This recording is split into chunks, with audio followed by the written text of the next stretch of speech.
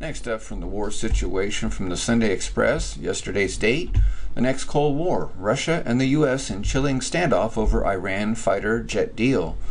U.S. officials have warned Moscow to be fully aware that selling fighter jets to Iran would violate a UN arms ban as global tensions escalate to near Cold War levels.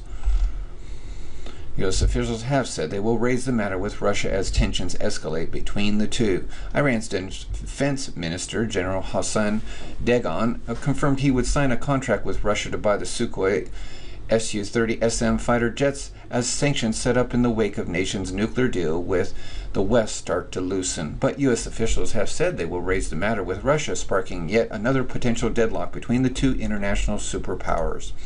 The Obama administration issued an official statement to remind Russia that after the Iran nuclear deal, Moscow are forbidden from selling the fighter jets to Shiite Muslim nation as it fights proxy wars in the powder keg of the Middle East. Now, I just want to say, uh, Obama reminding them, well, let's see. Obama freed up the what was it, 50 or 100 million dollars, uh, billion dollars to Iran. Okay, so it was Obama they handed off the money that unlocked the money for Iran. Okay, now he's trying to say they're forbidden to do that when Moscow needs the money, Russia needs the money. Uh, you know, not only that, but they're supporting them. See, Obama knew about this the whole time. That's why he set this up. This is all part of the uh, the, the Vatican. The Vatican's got all these wars planned out. General Hassan Dehghan confirmed he would sign a weapons deal with Moscow. However, Russia could be able to send the Sukhoi jets onto Iran, who are also fighting on their own turf against Sikh jihadi group ISIS if they receive UN approval. The consent must be given in advance on case by case basis. General Dehghan did not specify how many fighter jets Iran will buy or give a timeline for the signing of the deal. And that's why they, they have the, uh, the EU. That's why they have the UN. Uh, it, it, that's their station to set up wars secretly. That and the globe, the, the Bilderberg Society, huh? But with the Middle Eastern state currently using modified versions of the long outdated Russian and American warplanes, large orders of new age Sukhoi fighter, fighters jets seem likely. Meanwhile, Russia has already started delivering S 300 air defense missile systems to Iran, following up from a deal that was temporarily frozen in 2010. It comes as tensions between Russia and U.S. have led officials to claim global tensions are at a Cold War level. The Bulletin of the Atomic Scientist, the board who controls the doomsday clock which predicts how close humanity is to the end, chose to keep the symbolic gauge of an impending apocalypse perilously close to midnight. Last month, Chairman Lawrence Krauss said the clock reflects our estimate that the world is as close to the brink as it was in 1983 when U.S. Russian tensions were at their iciest in decades. Thank you for listening. Next up from the war situation from the Sunday Express, yesterday's date, the next Cold War, Russia and the U.S. in chilling standoff over Iran fighter jet deal. U.S. officials have warned Moscow to be fully aware that selling fighter jets to Iran would violate a UN arms ban as global tensions escalate to near Cold War levels. U.S. officials have said they will raise the matter with Russia as tensions escalate between the two. Iran's defense minister, General Hassan Dehghan, uh, confirmed he would sign a contract with Russia to buy the Sukhoi Su 30 SM fighter jets as sanctions set up in the wake of nation's nuclear deal with the West start to loosen. But U.S. officials have said they will raise the matter with Russia, sparking yet another potential deadlock between the two international superpowers. The Obama administration issued an official statement to remind Russia that after the Iran nuclear deal, Moscow are forbidden from selling the fighter jets to Shiite Muslim nation as it fights proxy wars in the powder keg of the Middle East. Now, I just want to say, uh, Obama reminding them, well, let's see. Obama freed up the what was it, 50 or 100 million dollars, uh, billion dollars to Iran. Okay, so it was Obama they handed off the money that unlocked the money for Iran. Okay, now he's trying to say they're forbidden to do that when Moscow needs the money, Russia needs the money. Uh, you know, not only that, but they're supporting them. See, Obama knew about this the whole time. That's why he set this up. This is all part of the uh, the, the Vatican. The Vatican's got all these wars planned out. General Hassan Dehghan confirmed he would sign a weapons deal with Moscow. However, Russia could be able to send the Sukhoi jets onto Iran, who are also fighting on their own turf against Sikh jihadi group ISIS if they receive UN approval. The consent must be given in advance on case by case basis. General Dehghan did not put, specify how many fighter jets Iran will buy or give a timeline for the signing of the deal. And that's why they, they have the, uh, the EU. That's why they have the UN. Uh, it, it, that's their station to set up wars secretly.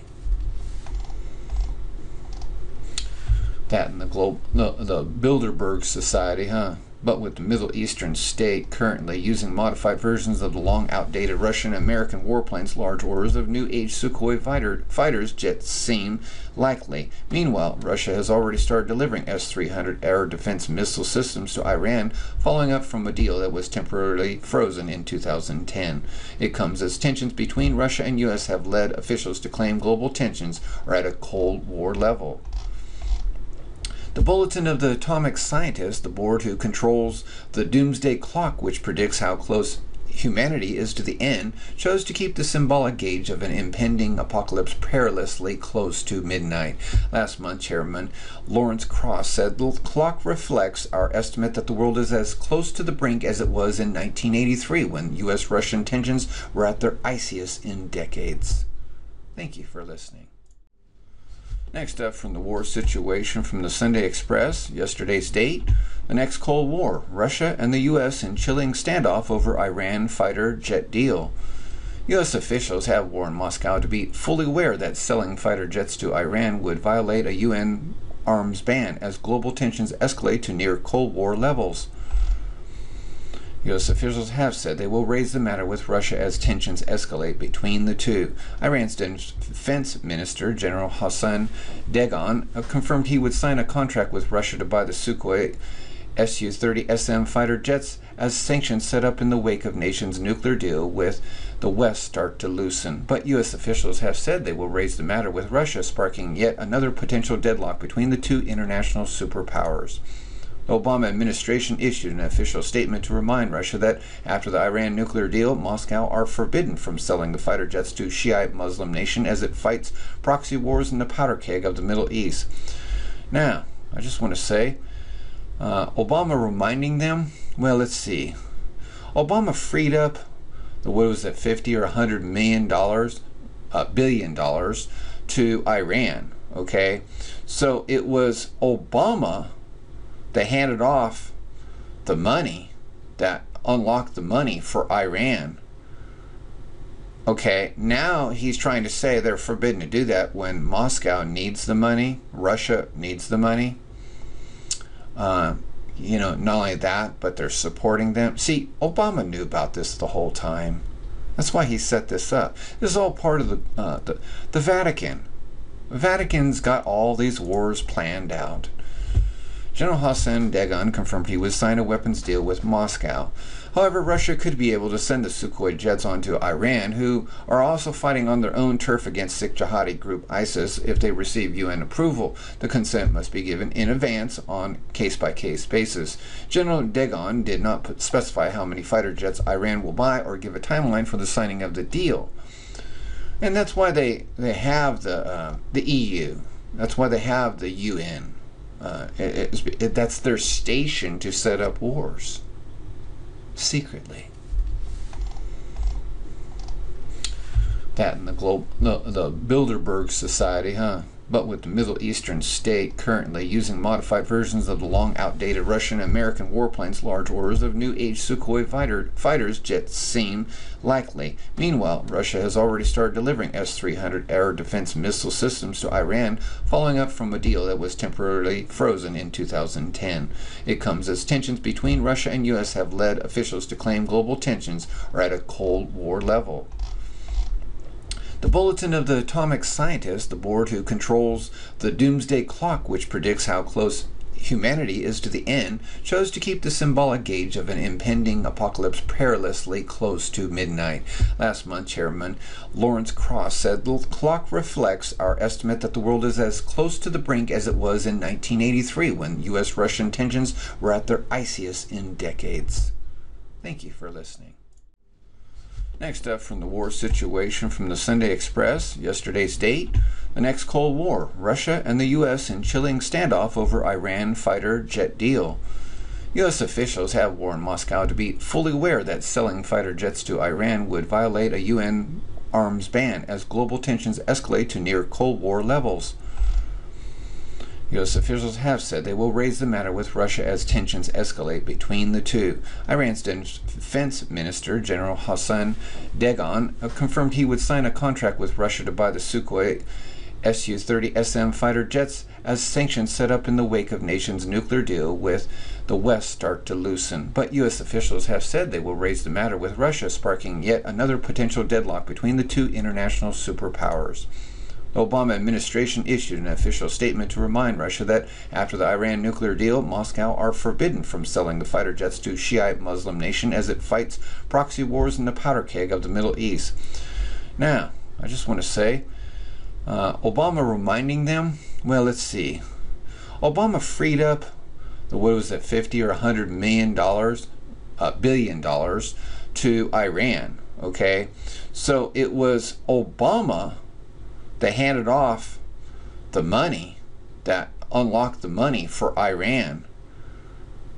Okay, now he's trying to say they're forbidden to do that when Moscow needs the money, Russia needs the money. Uh, you know, not only that, but they're supporting them. See, Obama knew about this the whole time. That's why he set this up. This is all part of the uh, the, the Vatican. The Vatican's got all these wars planned out. General Hassan Dehghan confirmed he would sign a weapons deal with Moscow. However, Russia could be able to send the Sukhoi jets onto Iran, who are also fighting on their own turf against Sikh jihadi group ISIS if they receive UN approval. The consent must be given in advance on case by case basis. General Dehghan did not specify how many fighter jets Iran will buy or give a timeline for the signing of the deal. And that's why they, they have the, uh, the EU. That's why they have the UN. Uh, it, it, that's their station to set up wars secretly. That and the globe, the, the Bilderberg Society, huh?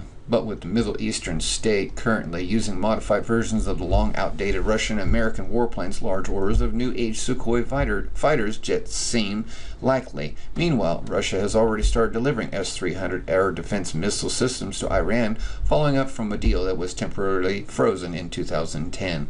It comes as tensions between Russia and U.S. have led officials to claim global tensions are at a Cold War level. The Bulletin of the Atomic Scientist, the board who controls the doomsday clock which predicts how close humanity is to the end, chose to keep the symbolic gauge of an impending apocalypse perilously close to midnight. Last month, Chairman Lawrence Krauss said the clock reflects our estimate that the world is as close to the brink as it was in 1983 when U.S. Russian tensions were at their iciest in decades. Thank you for listening.